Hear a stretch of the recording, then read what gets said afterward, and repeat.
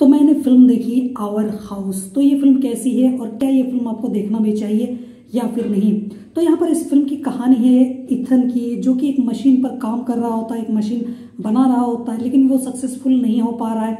आखिर वो मशीन क्या काम करती है और आखिर इस मशीन को वो बनाने में क्यों लगा हुआ था और उसके बाद क्या होने वाला है? और ये सब अगर आपको जानना है तो आपको ये फ़िल्म देखनी पड़ेगी, जो कि मैं शायद आपको रिकमेंड करूँगा, लेकिन कुछ चीज़ें हैं जिसको आपको समझना पड़ेगा कि ये फ़िल्म आपको देखनी चाहिए या नहीं, या फिर किनको देखनी चाहिए और किनको नहीं देखना चाहिए और इस फ़िल्म से दूर रहना चाहिए। क्योंकि अगर इस फ़िल्म में काफ़ी सारी अच्छाइयाँ हैं तो काफ़ी सारी बुराइयाँ भी हैं, जिस वजह से हो सकता है कि आप दो बार ज़रूर सोचोगे कि आपको ये फ़िल्म देखना भी चाहिए या फिर नहीं, क्योंकि ये फ़िल्म ही ऐसी है। तो देखो, जिस तरीके की मैंने आपको इस फ़िल्म की स्टोरी बताई है ना तो आप उससे आप समझ ही गए होंगे कि फ़िल्म काफ़ी ज़्यादा इंटरेस्टिंग है, जो कि है ही। तो यहाँ पर इस फ़िल्म का जो जोनर है, वो है साईफाई हॉरर और अगर मैं बात करूँ इस फ़िल्म की ना तो काफ़ी वक्त के बाद मुझे थोड़ी सी अलग हटकर, एकदम यूनिक किस्म की स्टोरी पर बनी हुई मुझे फ़िल्म देखने को मिली है, खासकर साईफाई की जोनर में। तो उसी वजह से मुझे ये फ़िल्म काफ़ी ज़्यादा पसंद आई, काफ़ी ज़्यादा मज़ेदार लगी और फ़िल्म उस लेवल की भी है। तो ऐसा मैं नहीं बोल सकता हूँ कि फ़िल्म बेकार है या फिर फ़िल्म देखने में मज़ा नहीं आया, क्योंकि फ़िल्म आपको कुछ अलग दे रही है तो उसके बारे में बात करना तो बनता ही बनता है। यहाँ पर जब फ़िल्म की शुरुआत होती है ना तो शुरुआत में ये जो फ़िल्म है ना, एक सीधी सादी सी फ़िल्म लगती है कि चलो ठीक ठाक सी एक फ़िल्म है, जहाँ पर हमको ऐसा कुछ खास देखने को तो मिलेगा नहीं। फिर अचानक से ये फ़िल्म एक साईफाई के लेवल पर चली जाती है। उसके कुछ वक्त के बाद ये फ़िल्म हॉरर की तरफ़ मुड़ जाती है। यानी कि ये जो फ़िल्म है ना पहले सीधी सादी सी लगने लगती है फैमिली ड्रामा लगने लगती है, फिर ये फ़िल्म धीरे धीरे धीरे धीरे डार्क होती चली जाती है। तो इस फ़िल्म को जिस तरीके से रिप्रेजेंट किया गया है, जिस तरीके से फ़िल्म का स्क्रीन प्ले आगे बढ़ता है ना, वो काफ़ी ज़्यादा तगड़ा लेवल का है, काफ़ी ज़्यादा बढ़िया है। वो मुझे बहुत ही ज़्यादा पसंद आया। और उसी वजह से एक एक्साइटमेंट एक क्यूरियोसिटी बनी रहती है कि भाई हम, हमको आगे क्या देखने को मिलेगा और क्या क्या हमको देखने को मिल सकता है, जो कि ये फ़िल्म देती भी देती भी है। तो ये मुझे एक बहुत अच्छी बात लगी इस फ़िल्म की।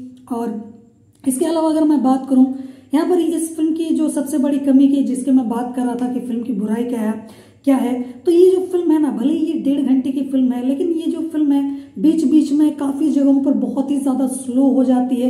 इतनी ज़्यादा स्लो कि आप बोर हो जाओगे, आपको फ़िल्म देखने में मज़ा नहीं आएगा, आप बोलोगे कि अब मज़ा नहीं आ रहा।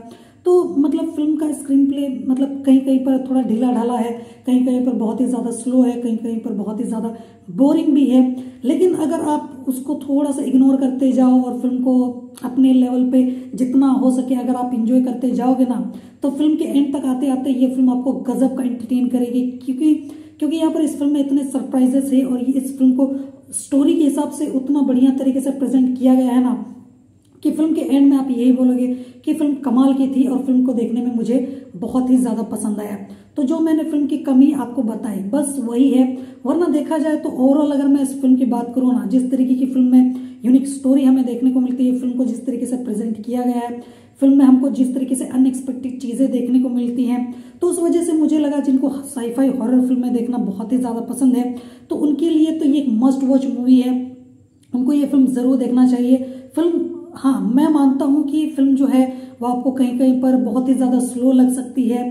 कहीं कहीं पर आपको बहुत ही ज़्यादा बोरिंग फील आ सकती है कि फ़िल्म देखने में मज़ा नहीं आ रहा फ़िल्म में दम नहीं है, जान नहीं लग रहा।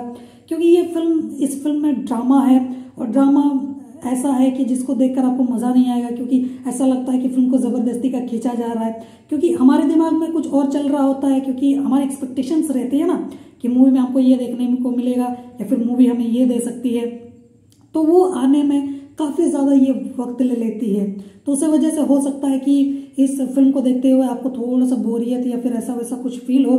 लेकिन अगर आप पेशेंस के साथ बने रहे तो ये फ़िल्म आपको बहुत ही गजब का एंटरटेन करेगी और ये फ़िल्म वाकई में बहुत तगड़ी है। और इसी वजह से जिनको साईफाई हॉरर फ़िल्में देखना बहुत ही ज़्यादा पसंद है तो मैं ये फ़िल्म आपको रिकमेंड करता हूँ। आपको ये फ़िल्म ज़रूर देखना चाहिए। एक मस्ट वॉच मूवी है, जिसको देखकर आपको मज़ा ज़रूर आएगा। एक यूनिक किस्म की फ़िल्म को देखना तो बनता ही बनता है।